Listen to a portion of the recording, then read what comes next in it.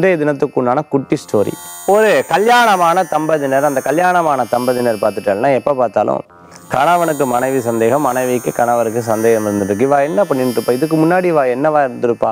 இவா வாழ்க்கையில் வேற யாரா இருந்திருப்பா? இப்படியே சந்தேகப்பட்டுட்டே இருந்தாலாமா? இவாளுக்குள்ள பிரச்சனைகள் வந்துட்டே இருக்கு. இவரோட எல்லா விஷயங்களும் இவ வந்து எப்பவுமே துருவி துருவி கேட்கறது அவருடைய விஷயங்கள் எல்லாம் துருவி துருவி கேட்டுட்டே இருக்கிறது தெரிஞ்சுட்டே இருக்கிறது. இப்படியே குடும்பம் போயிட்டு இருக்கு ஒரு நிம்மதியே கிடையாது. நேராக சரி பெரியவங்க பார்த்துட்டு இவங்க ஒரு குருவாக இருக்கக்கூடியவங்க கிட்ட போய் இதை கேட்கலாம் அப்படின்னு சொல்லி நேராக என்ன பண்ணுறார் அந்த குரு கிட்ட போய் ரெண்டு பேர்த்தையும் உட்கார வைக்கிறா என்னப்பா பிரச்சனை? இல்லை இல்லை சுவாமி.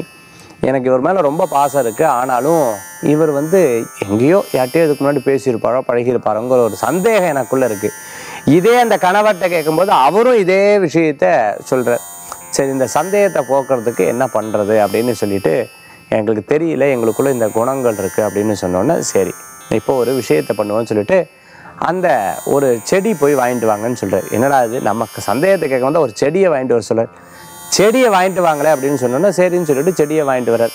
அப்படி செடியை வாங்கிட்டு வந்தோன்னே அங்கே ஏரியாவில் விளையாண்டுட்டு இருக்கக்கூடிய ஒரு குழந்தைங்க இப்படி வான்னு கூப்பிட்றாரு.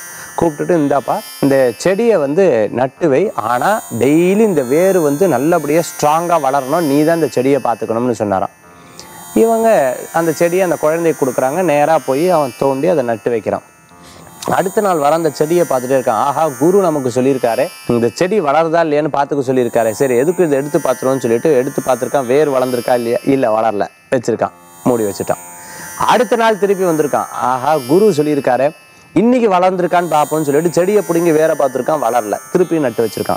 இதை டெய்லி அந்த தம்பதியினரை அவரை பார்க்க சொல்றாரு. இப்படி டெய்லி வரான் கொஞ்சம் ஒரு பத்து நாள் இருபது நாள் ஆச்சு முப்பது நாள் ஆச்சு அந்த செடி வந்து பட்டு போயிடுது. அப்போ குரு அவனை கூப்பிட்டு கேட்குறாரு என்னப்பா செடி வளரலையா? இல்லை நானும் வந்து எடுத்து எடுத்து பார்த்தேன் வச்சு பார்த்தேன் அது வளரவே கிடையாது. சரி இப்போ பேசாமல் நம்ம வளர்றத வந்து நம்ம கண்ணுக்கு முன்னாடி பார்ப்போம். ஏன்னா வளர்றது தெரிய மாட்டேங்குது. கண்ணுக்கு முன்னாடி பார்ப்போம்னு சொல்லிட்டு செடி எடுத்து மேலே வச்சு பார்த்துட்டேன். கொஞ்ச நாள் பார்த்துட்டேன்னா அது வந்து பட்டு போயிடுத்து சுவாமி அப்படின்னு சொல்லி வருத்தப்பட்டான். அப்போ இந்த மாதிரி தான் நம்ம வாழ்க்கையில் அந்த செடி மேலே அவன் எப்படி பற்றுதல் வச்சுருந்தானோ அதே மாதிரி நம்மளும் கணவன் மனைவிக்குள்ளேயோ இல்லை சொந்த பந்தத்துக்குள்ளேயோ பற்றுதல் வச்சுருப்போம்.